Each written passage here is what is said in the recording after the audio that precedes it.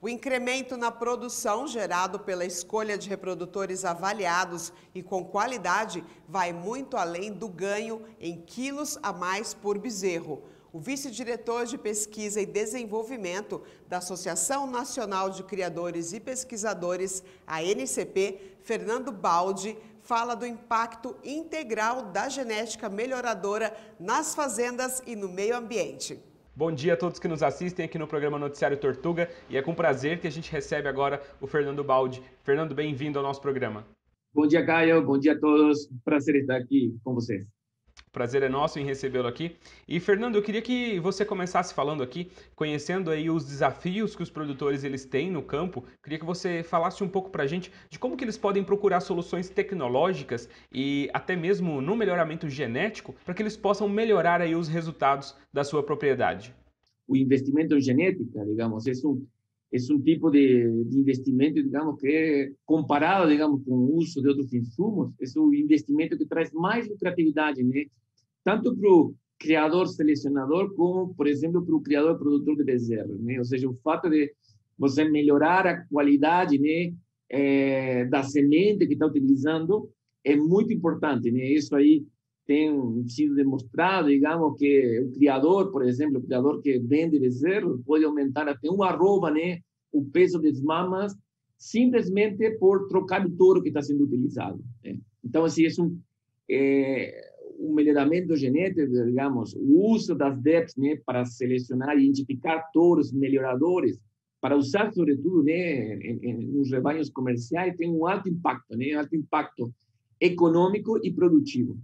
Em uma conversa que eu tive com o Maurício Veloso, lá da Socom, ele estava falando que a, todo o manejo, o bom manejo que tem ali no trato com o animal, a suplementação, dentre outros tópicos, são muito importantes, mas todos eles fazem apenas com que a genética do animal floresça, que a genética melhore ainda mais, o, o, o animal ele expresse toda a possibilidade que ele tem. E por isso que é, é importante a genética, né? Não adianta, né, digamos, você melhorar o manejo da pastagem, melhorar o manejo nutricional, melhorar a, a sanidade, se você está com é, animais de baixo potencial produtivo, né? Ou seja, animais que não conseguem capitalizar, digamos, essa vantagem ambiental e de melhor manejo que, por exemplo, um sistema de produção intensivo tem.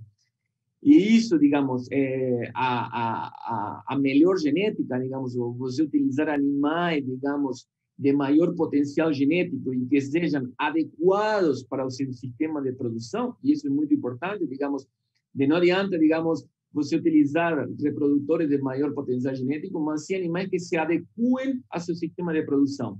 Sem dúvida, digamos, isso tem resultados práticos, né, de, de criadores associados à NCP, que quando você intensifica o sistema de produção, né, sobretudo utiliza, por exemplo, o sistema de ILPF, né, integração lavoura-pecuária, o fato de você estar utilizando uma genética diferenciada potencializa muito mais ainda a resposta da melhora no ambiente. Então, em realidade, é um binômio, né, ambiente e genética. Né? Não adianta somente melhorar as condições de produção, né, se a gente não melhora também o potencial genético dos animais. E hoje, aqui no Brasil, principalmente, quais são os maiores desafios que os produtores encontram aí quando eles vão procurar uma genética de qualidade?